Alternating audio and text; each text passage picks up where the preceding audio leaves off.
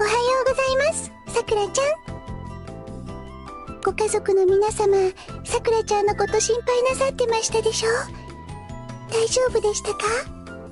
あうん。お兄ちゃんにすごく怒られちゃった。心配かけちゃったもんね。でも無事に帰ってきて安心しとったな。まあケロちゃんもおはようございます。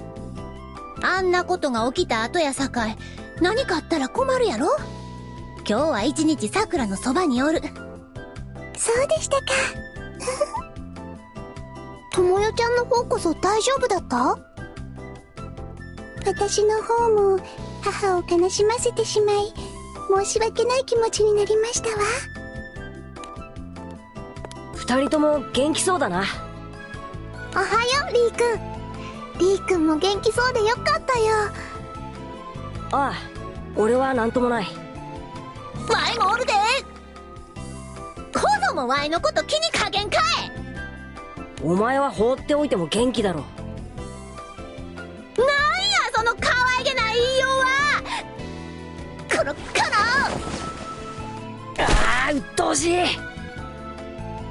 ケロちゃんその姿ではリー君にはかないませんわええか小僧わいが元の姿を取り戻したら覚悟しときや。覚えとれ。もう忘れたな。このクソガキ。それにしてもあの魔法陣は何だったんだろうな。俺たちをあの世界に飛ばしたりケルベロスを狙ったり。そうだよね。目的がわからないしそもそもあれが何だったのかも。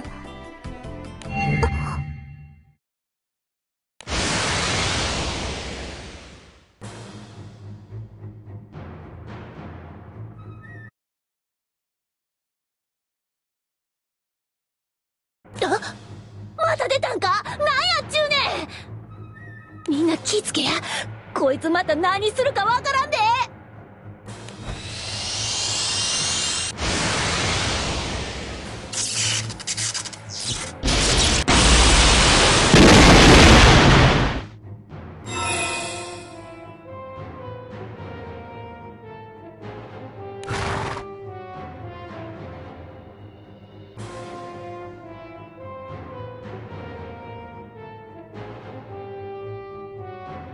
お馬さん？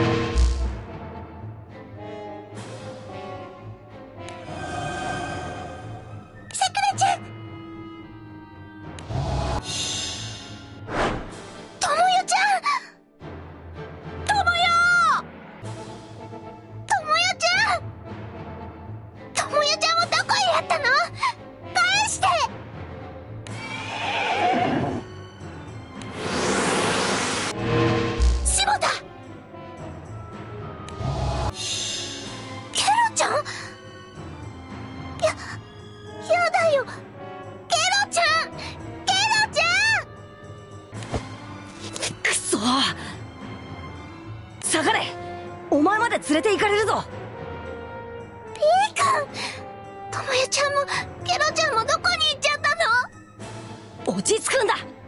今はクローカードを守ってあいつから逃げ切ることを考えろ。でも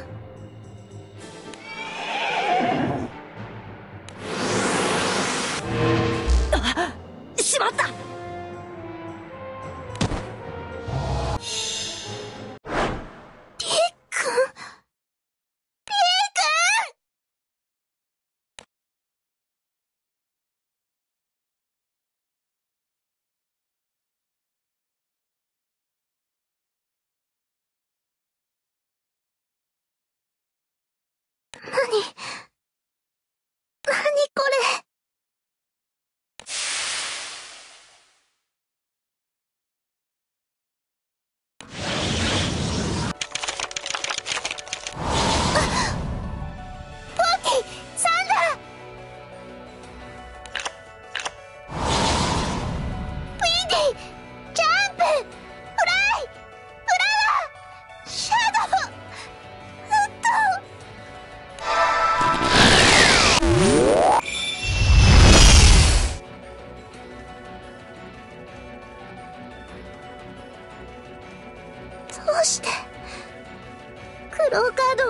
ってるの。みんなどこへやったの？ともよちゃん。ケロちゃん。イーくん。ウィンディ。みんなどうして？どうして私の大切な人たちを連れて行くの？みんなどこ行っちゃった？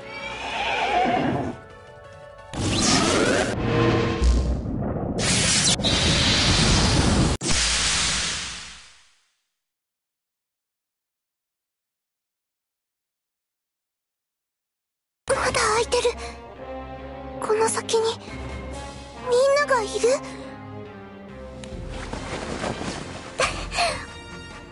泣いててもしょうがないよね。ともよちゃんたちも突然どこかへ連れて行かれて怖い思いをしてるかもしれない。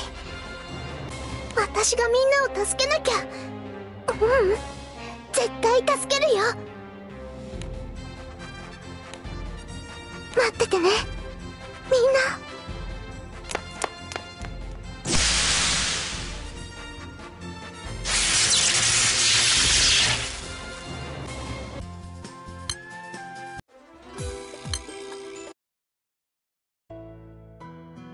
風が怯えています。この奥にいる何かを恐れているような。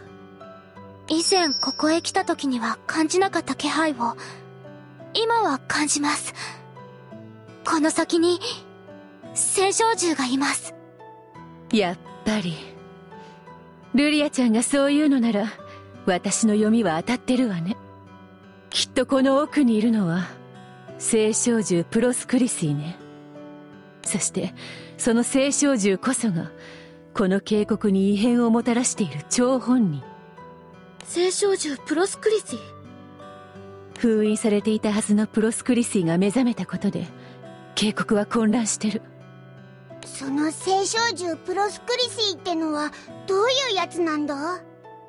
昔からこの地に伝わるお話があるの。破空戦争の時代。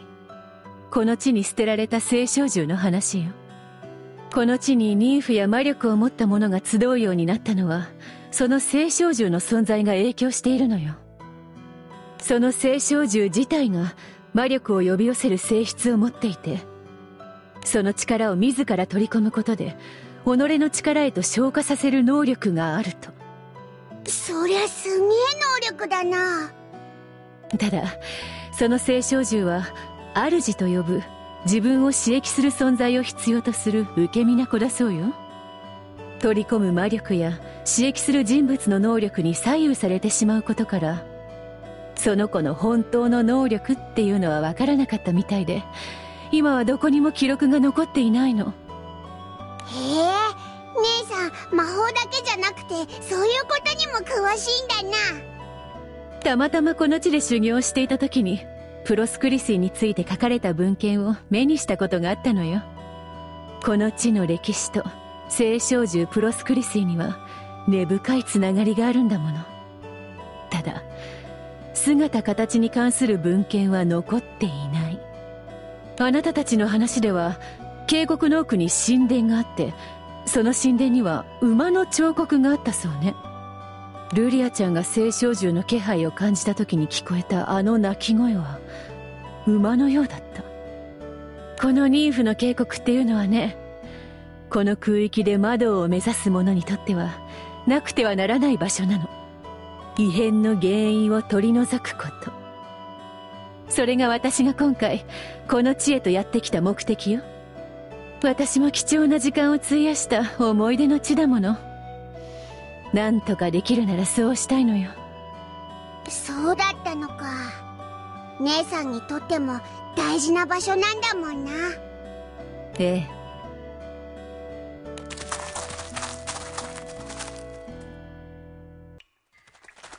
ここです。この神殿の奥に、聖少女、プロスクリシーがいます。ようやくご対面ね。待ってたわ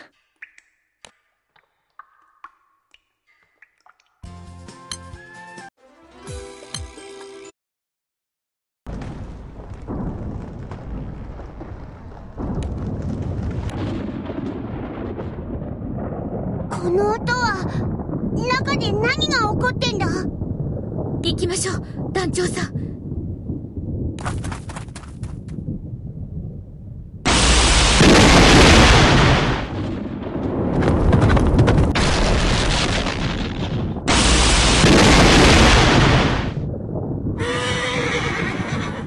これは一体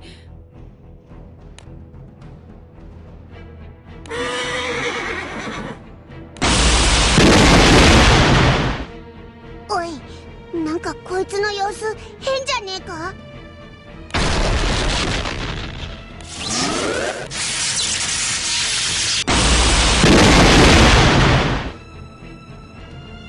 これは。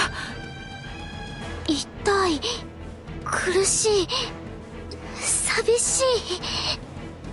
どうしたルリこの子の感情が流れてきて、とっても苦しんでいます。早く止めないと。オ落ち着かせてやんねえとこいついつまでも自分を痛め続けるぞ。どうしてこんなことを。痛々しくて見ていられないです。団長さんこの子の暴走を止めてあげましょう。行くぜ